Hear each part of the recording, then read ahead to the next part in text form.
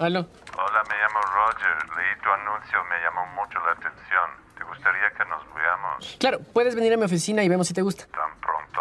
Sí, es que tengo varias ofertas, debes aprovechar. Entonces hagámoslo ahora. Soy Roger. ¿Cómo llegaste tan rápido? Por la magia de la edición. Ah, ¿quieres verlo? Que aquí. No, vamos a parqueadero.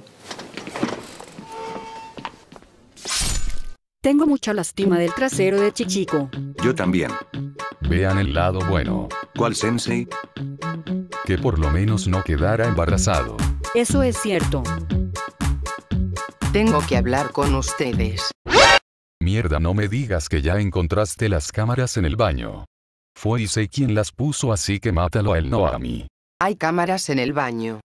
Por supuesto que no sateráis a el sensei solo está jugando jajajajaja. Luego voy a tener que revisar el baño para ver si es cierto, pero por ahora quiero que todos vengan conmigo a casa de mis padres. ¿Para qué? Es que mis padres y hermano quieren celebrar que gane el concurso de belleza y que tengo trabajo, así que me pidieron que trajera a todos en el canal para que los conozcan. Vaya Sateraisa me gustaría ir pero tengo que limpiar mi cuarto y acomodar mi colección de revistas hentai. ¿Qué tal, Tushiro? Yo tengo que hacer la comida y lavar mi ropa. ¿Y tú, Elix? Yo no tengo nada que hacer, pero no quiero ir. No me importan las excusas de todos ustedes. Aunque sea uno tiene que venir conmigo. Hijos de la fregada, ¿en serio saltaron por la ventana? Si rompieron el cuadro al saltar. Aunque sea tú si eres educada y no saltaste por la ventana como ellos. Entonces vamos, estoy segura que nos divertiremos mucho juntas. Parece que ya se fueron Issei. Qué bien, ¿y ahora qué hacemos sensei? Tú te irás a quitar las cámaras que están en el baño antes que llegues a Teraisa, mientras yo me voy a hacer algunas cosas en mi habitación. Ok sensei. Y dime, Elix, ¿qué piensas hacer mientras no está mamá Sateraisa en el canal? No me digas que vas a hacer yaoi con Issei. Ya cállate X. Hoy voy a investigar un poco el canal y a mis sirvientes. Supongo que es para que la fase 3 del plan no tenga fallos, ¿verdad? Sí, Pero dime cómo vas a conseguir información de este extraño canal. es muy simple, tenemos quien nos puede decir toda la información que necesitamos en el sótano.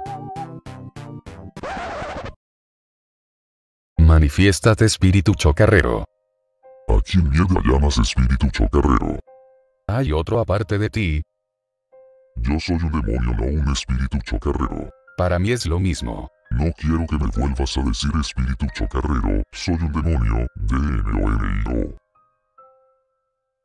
Sí, claro, como sea, quiero que me digas todo lo que sabes de este canal. ¿Y por qué yo te lo diría? Una mejor pregunta sería, ¿quieres que te vuelva a dejar medio muerto? Ja, es imposible matar a un demonio. Tal vez sí, tal vez no. ¿Quieres que lo intente? No.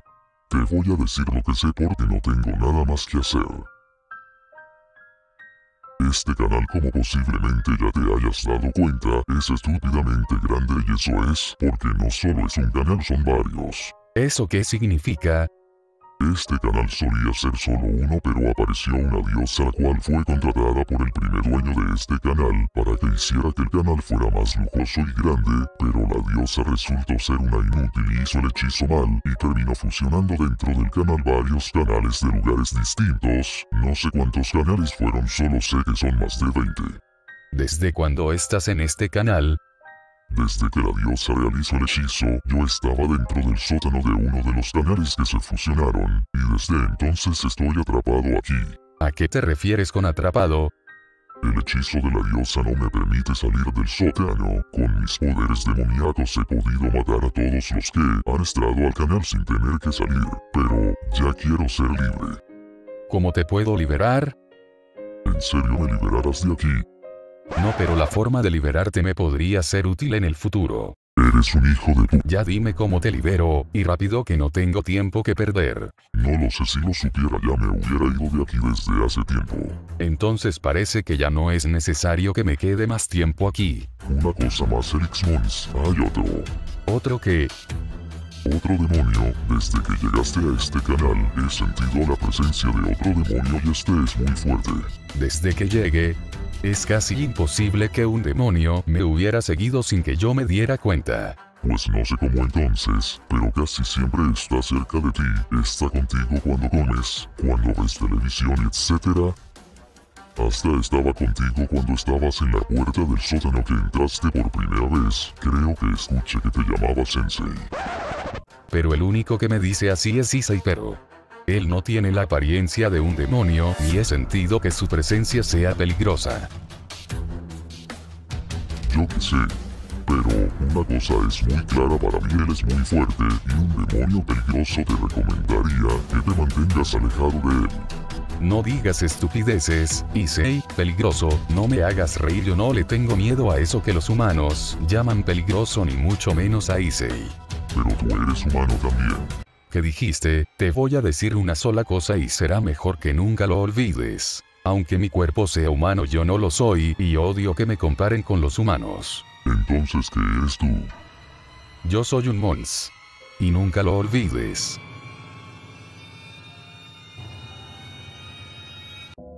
¿Qué es un mons? ¿Y qué significa? Este chico no es nada normal. Y esa espada tampoco lo es, solo hay dos tipos de armas que le pueden hacer daño a un demonio el primer tipo es armas santas pero no creo que lo sea entonces tiene que ser el otro tipo, una arma demoníaca. Pero, ¿qué hace él con una arma demoníaca? Una cosa es segura, para conseguirla tuvo que derramar sangre. Y mucha. ¿Qué hacemos ahora? Ahora tenemos que averiguar si Issei es realmente un demonio. ¿Y cómo lo harás? Ya tengo un plan. ¿Y cuál es el plan? Issei eres un demonio, Sí, pero porque pareces un humano, porque antes lo era Sensei. Pasó hace dos años, no recuerdo lo que pasó antes de eso. Mi cuerpo estaba muriendo. No sé cómo ni por qué, pero estaba muriendo. Pero cuando pensé que moriría, la vi. Una chica con el pelo rojo carmesí. No dijo nada, solo puso algo en mi cuerpo, reviví y desperté. Pero, ella desapareció.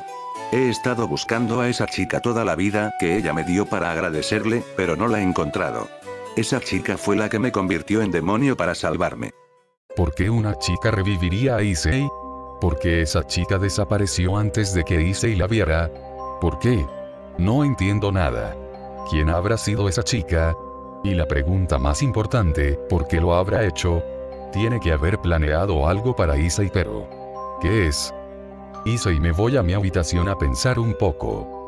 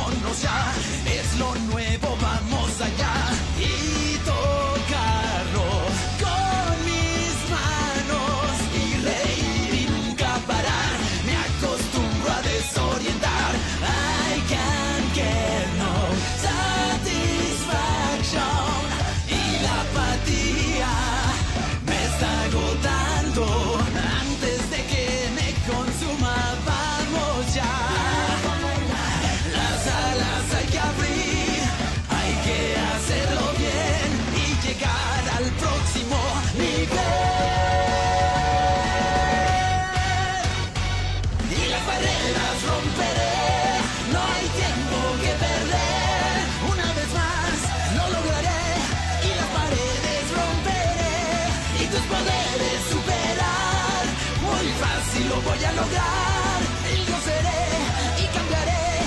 Yo sé que llegará el Dragon Ball Super, se nos ama, se impresionará.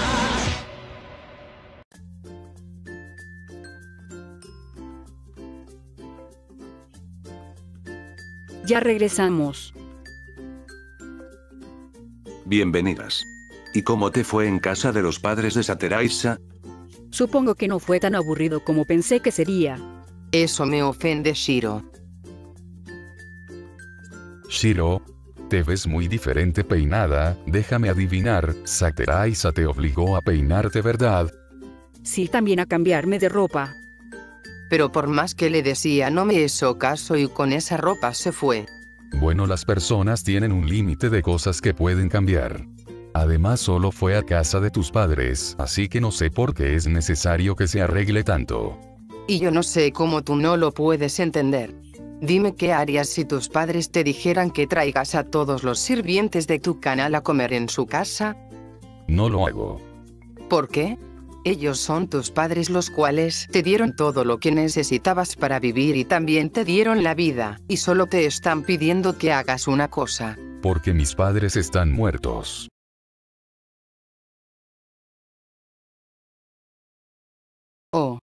Lo siento, Elix no lo sabía. ¿Y cómo murieron? Los mató un asesino el cual entró a la casa en la noche, cuando fui a la habitación de mis padres vi sus cadáveres. Supongo que fue muy doloroso para usted, Sensei, ver a sus padres muertos. No ni un poco gracias a eso estoy vivo. ¿Y qué pasó con el asesino? A ese asesino. Le debo mucho. ¿Qué quieres decir con eso, Elix?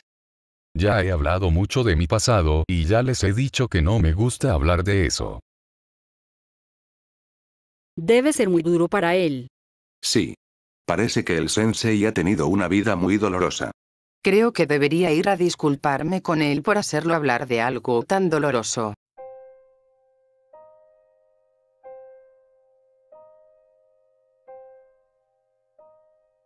Ja ja ja Es tan divertido, doloroso,